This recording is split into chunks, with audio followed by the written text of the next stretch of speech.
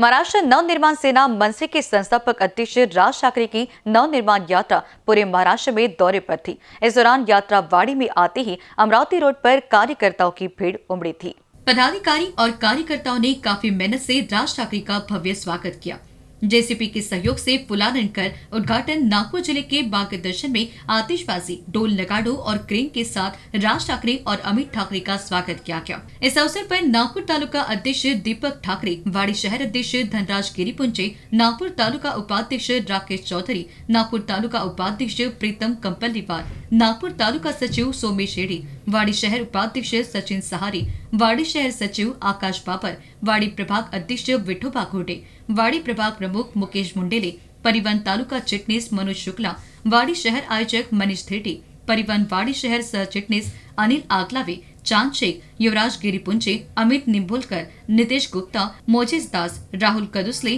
कुणाल मनेराव बादल रामटेके, संगम मोरिया, भरत थोमरे, अजिंक्य वाघमारी, नितिन पितोरी वेदांत राहमटाले अतुल मिश्रा भोजराज क्षीरसागर, भरत काले, चंदन राजुरकर, आकाश राउत, सौरभ चांदीकर, बोला सुनटक्के, रामाजी यादव महादेव जी शेलके, लीलाधर कोड़ापे, पंकज मसाल एवं अन्य अधिकारी एवं ग्रामवासी मुख्य रूप से उपस्थित थे।